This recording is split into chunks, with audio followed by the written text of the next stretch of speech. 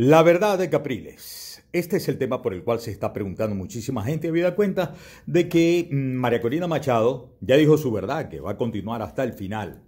El retiro de la candidatura, no obstante haber eh, sido pronunciado al país o anunciado al país por Capriles en un video el domingo en la noche, tiene una frase que es la clave de todo el plan, de toda la verdad de Capriles. Y es que la verdad es que bastante teníamos como espectadores del mundo y como pues eh, habitantes de este planeta con la preocupación por los ataques en Medio Oriente contra Israel, la respuesta de Israel y las repercusiones que esto va a tener globalmente. Y por supuesto el régimen de Venezuela aliados con los terroristas nos trae directas consecuencias a los venezolanos estemos donde estemos como para que ahora llegáramos a la conclusión de que Capriles no se retiró, abrió la guerra, la verdad de Capriles